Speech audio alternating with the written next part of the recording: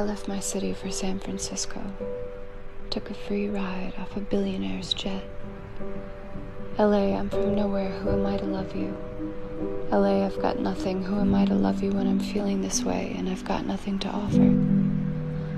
LA, not quite the city that never sleeps, not quite the city that wakes, but the city that dreams for sure.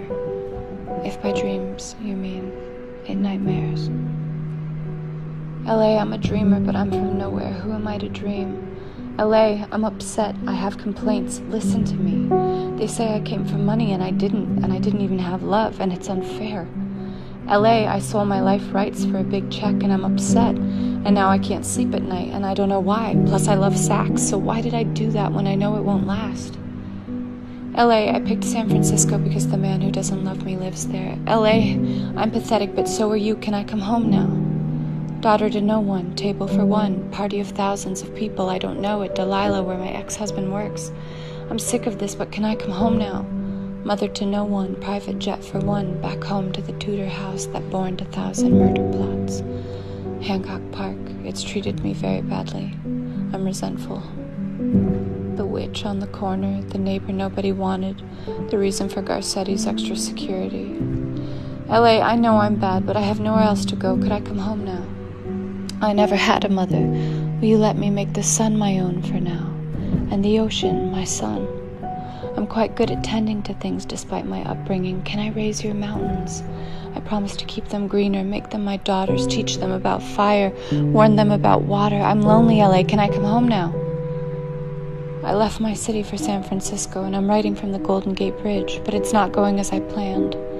I took a free ride off a billionaire and brought my typewriter and promised myself that I would stay, but it's just not going the way that I thought. It's not that I feel different, and I don't mind that it's not hot. It's just that I belong to no one, which means there's only one place for me. The city not quite awake, the city not quite asleep, the city that's still deciding how good it can be. And also, I can't sleep without you. No one's ever really held me like you. Not quite tightly, but certainly I feel your body next to me, smoking next to me, vaping lightly next to me. And I love that you love the neon lights like me, orange in the distance.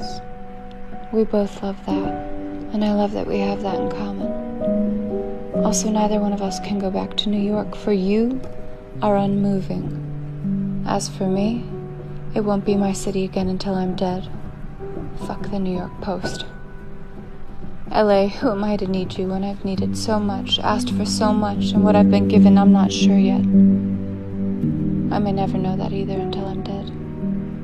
For now, though, what I do know is although I don't deserve you, not you at your best in your splendor with towering eucalyptus trees that sway in my dominion not you at your worst, totally on fire, unlivable, unbreathable. I need you.